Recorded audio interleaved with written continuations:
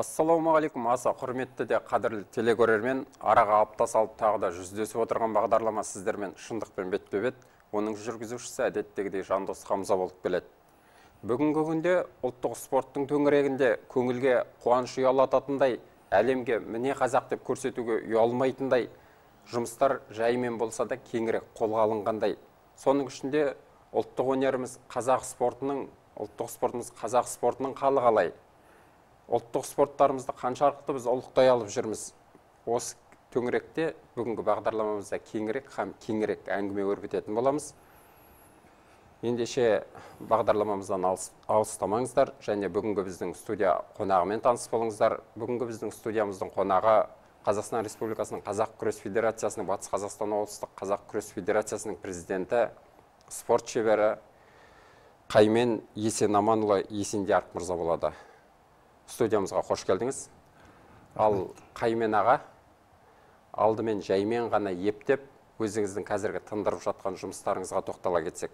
Жалпы қазақ күрес федерациясы қашан құрылды оны құруға не түрткі болды? Біріншіден ассалаумағалейкум ағайын. Енді жаңа жандос өзің айтып кеткендей мына қазақ спорт түрлері қазір ерекше даму үстінде деп соның ішінде мынау айта кетерлік қазақ күресі. Бұл қазақ күресі бізге өзге күрес түрлеріне ұқсамайтын ата бабаларымыздан қалған қастерлі мұра. Ол мұраны біз ары қарай дамытып оны өзге ұлт өкілдерінің алдында көрсете білу осы баршамызға сын. Сондықтан осы мына қазақ күресін дамытудағы біздің батыс қазақстан өңірінде жүргізіліп жатқан ерекше жұмыстарда тоқтала кеткім келеді. Біріншіден енді жаңағы біздің қазақстанымыздың ұлы жазушысы мұхтар әуезов атамыз айтып кеткендей қазақтың қасиетті үш өнерін ешкім еш уақытта жоғалта алмайды деген екен. Оның бірі аламан бәйгесі екінші айтыс үшінші осы күрес деп айтып кеткен екен. Сол айтқандай осы күресіміз біз ежелден атам заманнан келе жатқан біздің өнеріміз текті күресіміз бұл мен былай айтар едім күрес түрін осы қазақ күресін тек қана спорт түрінде қарау қате. Ол біздің өзімізбен мәдениетімізбен өнерімізбен осы қарымтас дамып келе жатқан өзіміздің қасиетті мұрамыз. Сондықтан осы қазақ күресі біздің жаңағы айта кетерлік осы бүкіл қазақстанда осы жаңадан даму үстінде.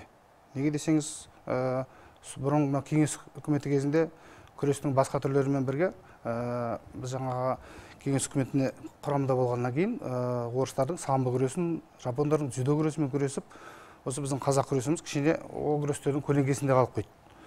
Сондықтан мынау сол қателіктерді қазір мынау егемендік алғаннан кейін мынау еліміздің жаңа өзіміздің туымыз әнұранымыз бөлек елбасымыз осындай жаңағы тапсырма қойғаннан кейін мынау ұлттық спорт түрлерін ерекше даму үстінде соның үстінде мына айтып отырмын жаңағы қазақ күресін осы үлкен мынау додаларда біздің палуандарымыз ерекше өздерін көрсетіп қазақты кім екенін танытып әлемге соның ішінде айта кету керек. Мынау жаңағы соңғы төрт бес жылда ұйымдастырылып отқан қазақстанның қазақстан барысы әлем барысы евразия барысы жарыстары куә осы біздің күрестің дамуына.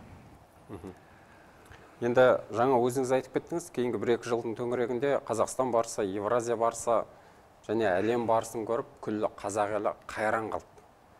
Жалпы осы күрес арқылы біздің ұлттық рухымыз да шарғайрақтай қайралды десек те болады. Балуандарымыз да біраз пайда көрді. Енді осы күрес түрі қазір біздің аймағымызда қалай жүзеге асырылуда? Аймағымызда қандай жұмыстар атқарып жатырсыздар? Енді осы жаңа айтып кеттім ғой осы қазақ күресін біз мына батыс қазақстан облысында осы наурыз айында мынау облыстық спорт және дене шынықтыру басқармасының басшылығымен осы облысымызда үлкен жиын өткізілді. Жаңағы конференция құрылтай конференция деп айтуға болады. Сол кезде осы қазақ күресін дамыту туралы батыс қазақстан өңірінде бұрын енді қазақша күрес болып келді ғой. Сондықтан жаңағы аты өзгергеннен кейін қазақ күресі деп ерекше жаңағы бөлек даму үстінде жүріп жатыр. Сондықтан жаңағы мынау ережелер өзгеріп киім үлгілері өзгеріп сондықтан әрбір өңірде осы қазақ күресі дамып жатыр. Сондықтан біз осы наурыз айында қазақ күрес федерациясын құрдық. Жаңа батыс қазақстан облысының құрамында жаңа осы біздің облысымыздың беделді ағаларымыз інілеріміз жаңағы осы күрестің жаны қасында қасында жүрген бауырларымыз бар. Сол осы федерация құрылып қазір осы март айынан бері мен айтар едім ә, біраз шаруалар тындырылды. Оны айта кету керек. Мынау жаңағы осы қазақ, қазақ күресінің тек қана қазақ күресін емес жаңағы басқа күрес түрінен осы біздің басқа қазақстан облысында ә, жаттығатын зал жоқ. Әлі күнге дейін тек қана осы мына күрес түріне арналған орысша айтады ғой зал жоқ. Соны осы әлі күнге дейін айтып келе жатырмыз. Осы осы облыс әкімшілігіне мына облыс спорт басқармасына сол жаңағы қазіргі уақытта ә, мынау айта кету керек. Ә, біздің батыс қазақстан облысына дене шынықтыру спорт басқармасының басшысы бекет азамат бауыржанұлына осы алғысымызды осы қазір мынау асан ауылынан ә, ат спорт түрлерінің спорт мектебінің жанынан бөлек қазақ күресіне арнайы спорт зал салынып бітті. Осы бұйырса осы айдың аяғына қарай сол спорт залға кіреміз. Сол залда осы ә, біздің батыс қазақстан облысының нұр отан ә, филиалының басшысы біздің серік сүлейменов ағамыз бар. Сол кісінің қолдауымен осы жарыстың ә, алла қосса осы жаңағы залымызды ә, ашамыз деп отырмыз. Осы бұйырса осы айдың аяғына қарай сол залға кіреміз. Бәрекелді. Бұның өзі де бір аймағымыз үшін ақжолтай жаңалық десек те болады Әрине. ендігі бұндай дүбірлі додаларда мұз айдынында қалтырап тоңып отырмай күрес залында орнықты отырамыз деген ойдамыз. Жалпы өзіңіз жаңа сөзіңізде айтып кеттіңіз бұған дейін қазақ күресі самбо күресінің көлеңкесінде қалып келді. Енді қазақ күресінің самбо бар дзюдо бар басқа күрестермен айырмашылығына тоқтала кетсек.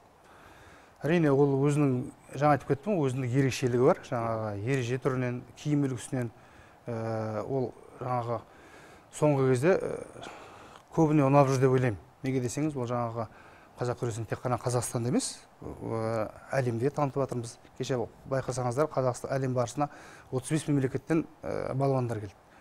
Оларда ә, былай қарасаңыз енді келіп ойнап кетуге келіп жатқан жоқ қой. Күресіп көріп жатсыз жаңағы олар қазақ күресінің жаңағы оңай түр оңай күрестің түрі екенін байқап үйреніп өздері ауылдарына жаттығып бір уақыт келіп күресіп жаңағы жүлделі орындарға ие болып жатыр. Қазақ күресінің ерекшелігі жаңағы біздің батырларымыз кезінде аяғына нық тұрып тіке күрескен.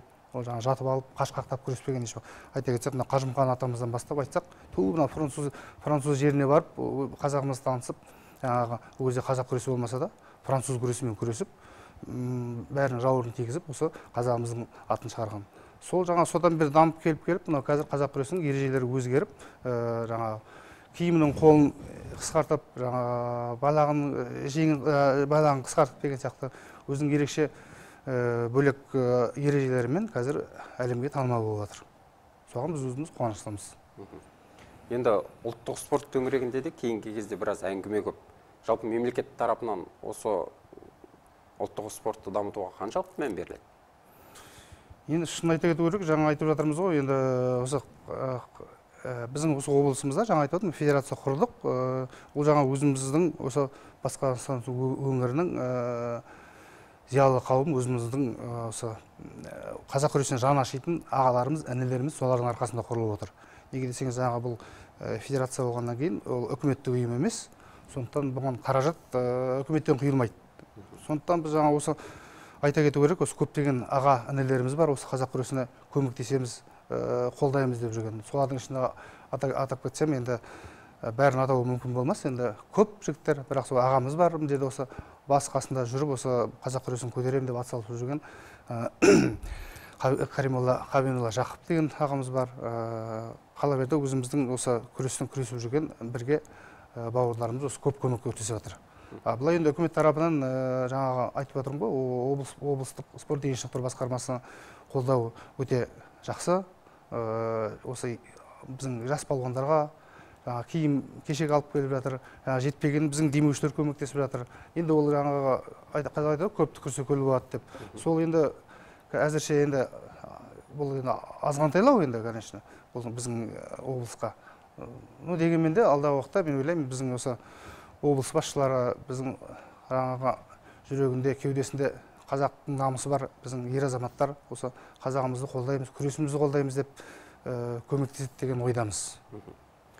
Жас балуандар деп қалдыңыз. Қазіргі жас балуандардың беталысы қалай? Бұған дейін батыр қуанышев асқар шайхеев оралбек қажыгелдин сынды біртуар балуандар түлеткен батыс өңірі. Қазіргі кезде батыс өңірінің бәсін қазіргі кездегі үлкен додаларда неге төмендеу? Өте орынды сұрақ. Иә жаңа айтып отырмын ғой мына соңғы кездерде біздің күресіміз кішкене облысымызда кенжелеп қалып отты. Неге десеңіз енді көңіл бөлінбей қалды ма жаңағы сосын мынау жаттықтырушылар кішкене ә, жағдайлары қиын болып кішкене жұмыстарын тастап басқа жұмысқа ауысып кетіп жатқандары бар. Жаңа айта кету керек мына күресімізді сонау отыз қырқыншы жылдардан бастап еңсеп досқалиев атамыздан бастасақ ә, содан бертін келе жаңағы аешов батыр ағамыз бар ә, өтеп молдабек ағамыз бар ә, қала берді сол спорт осы қазақ күресінің жанашырлары біздің ә, бақтияр құсайын ағаларымыз бар. Сосын жаңа айтып кеттің өзің батыр қуанышев асқар шайхиев оралбек қожагелдин сынды деп. Осындай батырларымызды қарап үлгі тұтатын қазір жас балуандарымыз өсіп келе жатыр. Оның айта кететін кеше осы бір екі жеті бұрын осы облысымызда жас барыс атты облыстық іріктеу жарысы болды. Соған қазақ күресіне 240 бала қатысты жас облысымыздан. Тек қана мына екі аудан келе алмады орда ауданы мен жәнібек ауданы келе алмады. Қандай себептен келе алмағанын білмедік. Енді сол сол кезде ұтқан бірінші орын алған 22 бала қазір павлодар қаласында күресейін деп жатыр. Осы ертең бұйырса ертең басталады жарыс. Біздің облысымыздан осы аға жаттықтырушы жақында сайланған ерешев ибат әбілұлы деген сосын қасында жас жаттықтырушылар бар. Бүкіл біздің осы облыстың жас балуандары қаймақтар деп айтуға болады бірінші орын алған. Бәрі біздің павлодар қаласында жеріміздің еліміздің намысын қорғауға кетті. Енді қазақ айтады құдықтың сыртындағының бәрі ақылды деп. Сол сияқты былтырғы бұрнағы жылғы қазақстан барысында біздің аймағымыз батыс өңірінің аймағын байрағын желбіретіп барып намысын қорғаған еділ үсенов бауырымыз өкінішке орай боз кілемде біраз тер төкті бірақ еңбегінің бәрі еш кетті десек те болады. Бұл енді еділдің бағының кем түсуі ме әлде бабының кемшіндігі ме? Қалай ойлайсыз өзіңіз? Енді айтады ғой қазақта ат шаба ма бап шаба ма деп. Ә, мен өзім ойымша ә, енді айтар едім еділдің бір жағынан енді ә, балуан ретінде өте мықты балуан жақсы балуан ә, жас кезінен күресіп жүр. Ә, біріншіден жас жағы жас кішкене келіп қалды. Енді осы отыздан асқаннан кейін күресте қиындау біріншіден. Екіншіден әрине ол бап кішкене аздау болды. Дайындығы кішкене нашарлау болып қалды. Өздеріңіз көрдіңіздер барыста енді өзімен қатарлас жігіттер күресіп жатқан ұтуға өте мүмкіншілік болды. Енді өзі әттеген ай деп осы ұтылып қалды. Енді алдағы уақытта ойлаймын биылдан бастап енді жаңадан біз ашылып құрылып жатырмыз ғой. Биылдан бастап қазір осы ауыл ауылда аудан аудандарда федерация құрып жатырмыз. Бөрлі ауданын да құрдық сырым ауданын да құрдық. Алла бұйырса басқа аудандарда да ашамыз деген ойымыз бар. Енді сол аудан аудандардан ауыл ауылдардан өзіміздің қазақтың болашақ барыстарын іздестірудеміз. Рахмет. Сөзіңіз аузыңызда осы орайда бізге түсіп тұрған бір сұрақ бар екен. Қоңырауымызда алдымен соны тыңдап алайық әрмен қарай әдемі әңгімемізді жалғастыра жатармыз. Сәлеметсіз бе біз сізді тыңдап тұрық. Енді қазақ күресі туралы әңгіме болып жатыр екен. Бұл орайда енді қазақ бола тұрғасын. Өзіміздің ұлттық спортымызға бейжай қарамауды жөн санадық. Бірінші сұрағым федерация болып құрылғалы қандай жұмыстар атқарылды? Екінші сұрағым ә, федерация болып құрылдыңыздар жаңа ғимаратты алғалы жатыр екенсіздер хабар барысында көріп жатырық. Содан кейін жаңағы федерацияның жұмысын асқақтататындай бір ә, беттететіндей қандай жарыстар өткізілмек? Сондай ақ енді ә, қазақ палуандарының дені ауылдық жерлерде жатыр ғой. Аудандармен жұмыс қалай жүзеге асырылуда? Федерацияның филиалдары ашылмай ма болашақта? Рахмет. Рахмет. Рахмет сұрағыңызға. Өте орынды сұрақ. Енді жаңа айтып жатырмыз ғой. Федерация құрғалы жаңағы март айында наурыз айында құрдық. Енді содан бері ә, облыстың ә, әрбір жаңағы салмақ дәрежелерімен өзінің ә, жас бойынша көптеген жарыс өткізілді.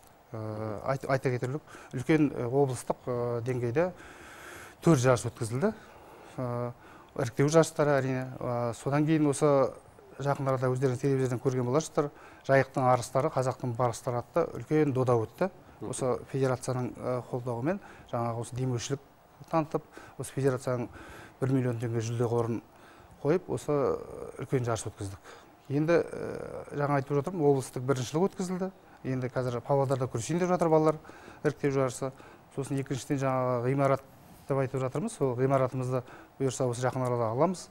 Содан кейін енді басқаша жаңағыдай алдағы уақытта жоспарларымыз көп. Соларды орындауға тырысамыз. Рахмет. Енді осы саланың маманы ретінде басы қасында жүрген адам ретінде жақында болған әлем барысы дүбірлі дода үлкен біздер енді табысты қойшы табыскер емес намыскер халықпыз ғой. Табыстың кеткеніне емес жүз мың ақш долларының намысымыздың кеткеніне бір кішкене аһ ұрып өкінгендей болдық. Жалпы өзіңіз білесіз бас жүлде куба елінің балуанына кетті. Бұндай қазақ жаңағы күресінің сонда бүкіл әдіс тәсілдерінің барлығы біздің елімізден де артық кубаға жеткен ме? Бұл ненің дәлелі? Енді бұл айта кету керек ә, жаңа, жаңа басында айтып кеттім қазақ күресі бір оңай күрес түрлері бір үйренуге оңай жеңілдеу жаңағы самбо күресінде ә, аяқтан ұстау аяққа жаңа ауыту әдістері дзюдо күресінде қылғындыру әдістері бар жаңағы көп. Қазақ күресінде ондай әдістер жоқ. Жаңағы қазағымыз аяғына нық тұрып аяқтан ұстамай тіке күреседі деп. Бұл жаңағы сондықтан да ә, болу керек. Басқа шетелдің балуандары біздің балуандарға қарағанда көбірек жаттыққан. Деп ойлаймын біріншіден. Екіншіден жаңағы э, куба балуаны ол да жаңағы оңай шағала жаңғақ емес. Неге десеңіз ол э, біріншіден салмағы бар байқап тұрсыз үлкен. Екіншіден э, ол олимпиаданың жүлдегері. Кез келген адам ол олимпиадаға барып жүлдегер бола алмайды. Ол тек қана мынау біздің өзінің кубаның елінің майталманы емес ол әлемнің майталманы деп айтуға болады. Сондықтан ол жаңағы бір жағынан заңдылық заңды құбылыс. Алдағы уақытта жаңа айтып отырмын ғой ауыл ауылдардан жаңағы осы біздің қаракөз бауырларымызды іздеп түйе палуандар дайындауымыз керек. Рахмет. Енді өзіңіз білесіз самбода да дзюдодан да қай қай күрес түрінен де ең бірінші күрескенде бұл салмақ дәрежесі ескеріледі. Салмағы бір мен салмағы бір күреседі дегендей. Ал қазақ күресінің бір ерекшелігі салмақ дәрежесі сай келмей жатады. Егер салмағы жетпейтін адам салмағы үлкен адамға қайтіп дес береді. Осы жағы әділетсіздеу емес пе? А жоқ бұл кішкене қате түсінік. Ә, жаңағы мына қазақ күресінің өзінің ережесі бар. Міне осы бір екі мың он екінші жылы шыққан қазақ күресінің ережесі. Бұнда жаңа жазылған ә, салмақ дәрежелері бар. Жаңағы салмақ дәрежелері бар. Ә, жаңағы елу бес килограмм алпыс жетпіс сексен тоқсан килограммға дейін. Жаңағы тоқсаннан жоғары ә, ол жаңағы түйе балуандық деп есептеледі. Орысша айтқанда абсолюттік. Сондықтан жаңағы сіздер телевизордан көріп жүргенде соңғы кезде кілең жаңағы абсолюттік жарыстар болып жүрді. Сондықтан жаңағы тоқсан килограммнан жоғары адам түйе палуан күресе береді. Жаңағы біздің еңсеп досқалиев атамыз өзі жетпіс килограмм болып ту семейге барып жаңағы жүз жүз елу килограммда палуандар ұтып чемпион болған ғой қазақстан бір мың тоғыз жүз отыз сегізінші жылғы ең тұңғыш чемпионымыз. Сондықтан да жаңағы салмақ дәрежелері бар. Жалпы олимпиада деп қалдыңыз. Осы қазақ күресін олимпиадаға кіргізу жайлы да біраз әңгіме болды. Сол әңгіме не болды? Әрине ол осы э, жаңағы айтып отырмын ғой осы қазақ күресін дамытуда біздің э, қазақстан елінде осы көптеген жұмыстар жүргізіліп жатыр. Соның ішінде мынау э, айтып отырмын ғой қазақстан республикасының қазақ күрес федерациясы құрылып оның жаңағы президенті болып арман шораев төлегенұлы тағайындалды. Сол кісінің қазір қолдауымен осы қазақ күресін көтереміз деп жүрген ер азаматтар жаңағы олимпиадаға кіргіземіз деген ойымыз бар. Бәріміздің де соған қолымыздан келгенше үлес қосуымыз керек. Неге десеңіз жаңа айтып отырмын ғой күні кеше шыққан кореялардың таэквондо деген спорт түрі жиырма жылдың турысында осы пайда болды да олимпиадаға кірді сол жаңағы жапонның дзюдо күрестері олимпиадада. Неге біздің қазақ күрес қай жері кем? Біз қолымыздан келмей ма күрес? Ә, или жаңа біздің ә, жағдайларымыз жоқ па? Қазір біз байқап отырсыз мына әлем барысы болды отыз бес мемлекет келді. Енді бұйырса осы декабрьдің желтоқсанның бес алтысында орынбор қаласында әлем чемпионаты болады қазақ күресінен. Сонда қырық шақты ел келеді деген үміттеміз. Алла бұйырса ол енді болашақ уақыттың еншісінде ғой бір он жыл ма жиырма жыл бола ма сол кезде олимпиададан көріп жатсақ енді өте қуанышты болар едік. Рахмет бәрекелді әмин соған жеткізсін дейміз. Осы орайда бізге түсіп тұрған тағы бір сауал бар екен соны тыңдап алайық. Сәлеметсіз ба сұрағыңызды қоя беріңіз. Біз сізді тыңдап тұрмық алло ассалаумағалейкум. Ассалаумағалейкум. Аға сізге бір сұрағым бар еді. Ыстыбай өткенде күресте өзінің жеңілісіне келіспеген сияқты болды. Сол туралы не айтасыз? Рахмет. Иә оны енді телевизордан ел көріп отыр бәрі көріп отыр. Ол өте кішкене қателік болды біздің балуан жағынан. Ол э, шынында ұтылды. Оны ақырында э, төрешілер көрсетті өзінің бағаларын. Енді ұтылды. Ол енді кішкене өрескелдік те болды. Енді жаңағы балуан болғаннан кейін ол кілем кезінде жаңағы қызбалық болады ашулық болады деген оны енді халқымыз енді кешіріп түсінеді деп ойлаймыз. Жалпы осы сұраққа қатысты тағы бір сұрақ туындап отыр ауыл итінің құйрығы ұзын деген қазақтың мақалы бар. Жарыс қай жерде өтсе жеңімпаз да сол жерден шығады дейді. Жалпы бұндай байрақты үлкен дүбірлі бәсекелерде жаңағы жүлдені жергілікті жерге алып қалу жайлы бармақ басты көз қысты мәселелер көп бола ма осы күресте? Енді жаңағы спорт түрі болғаннан кейін ә, қай қай жағынан да жаңағы кемшіліктер азын шоғын жаңағы ә, бір үйір тартып кішкене өзіне өзінің балуан жеңгенін кім жақсы жаман көреді жаңағы сол ондай болып ондай жағдайлар болып жатады енді оны шынын айту керек. Бірақ енді алдағы уақытта ондай жағдайларға жол бермейміз деп сол үшін қазір осы бүкіл қазақ болып тұрып күресіп жатырмыз ғой. Кеше соның дәлелі өздеріңіз көрді. Ту куба елінен келіп балуан келіп ұтып кетті. Аха, рахмет. Тағы бір сұрақ түсіп тұр екен. Сәлеметсіз ба? Сұрағыңызды қоя беріңіз. Мен мына қаймен мырза ассалаумағалейкум аслан бауырханұлы деген азамат боламын осында қазақ күресі мына қазақ күресі патенттелді ма екен? Басқа елдер ертең иеленіп кетпейді ме? Мына біздің қобызымыз шұбатымызды иеленіп кеткен секілді. Сол туралы білейін деп едім. Рахмет. Рахмет өте орынды сұрақ. Жаңа айтып жатырмыз ғой олимпиадаға кіргіземіз деп. Олимпиадаға жаңа кіргізу үшін де ә, мына атының өзі қазақ күресі деп біз кіргізуімізге өте қиындау болуы мүмкін. Неге десеңіз жаңа айтып отырмын ә, жапонның күресі жапондық дзюдо корейдің күресі кореялық таэквондо деп айтылмайды ғой. Сондықтан мына қазақ күресі деп енді кіргізуіміз өте қиындау болар. Бірақ жаңағы кеше астанада конференцияда сөздер болды. Осы қазақ күресінің жаңағы қазақ деген сөз қазақша деген сөзді алып тек күрес деген сөзді қалдырып сол күрес деп енгізуіміз мүмкін олимпиада. Неге десеңіз жаңағы күрестің өзбектің күресі бар жаңағы өте орынды сұрақ қойып отыр. Басқа күрестің жаңағы несінде көлеңкесінде қалып қоймай ма деп. Бірақ енді осы ел болып қазақ болып өзіміздің жаңағы қазақ күресін жаңағы күрес болып кірсе де жаңағы е, күрес емес немесе жаңағы басқа атпен күрес деген біздің қазақтың сөзі. Сол солай кіреді деп ойлаймыз енді. Олимпиададан ойып тұрып орын алатын болса жаңағы біздің де қазақ күресінің кіргені олимпиадаға бұл қазақтың атының шыққаны деп білесіз ғой. әрине. Тағы бір сауал тұр екен. Сәлеметсіз ба сұрағыңызды қоя беріңіз. Біз сізді тыңдап тұрмыз. Ассалаумағалейкум. Алейкум ассалам мына мен сауал қойып жатқаным ана жолғы әлем барысындағы күресте мысалы неге қазақстаннан төрт ақ адам қатысты? Жеті адамға дейін қосуға болмады ма? Рахмет.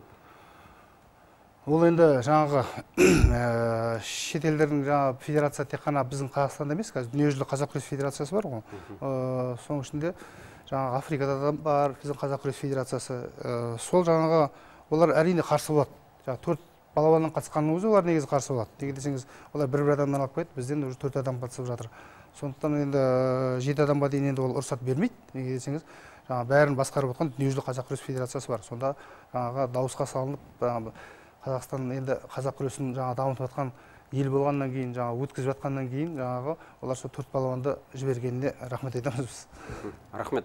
Бағдарлама басында өзіңіз айтып қалдыңыз тәуелсіздік алған жылдары тұңғыш тоқсаныншы жылдары облысымызда үлкен бір сайыс болып мотоцикл міндім деп жатсыз. Енді қазіргі әлем барысында кеше қазақстан барысында азия барысында көріп жатыр көлік тігіліп жатыр қымбат темір тұлпарлар. Енді тойыну талантқа тұсау дейді қазақ. Көп жем жеген көп жем жеген аттың аяғына түседі дейді жем жалпы бұл талантқа тұсау салуға кедергі келтірмей ме?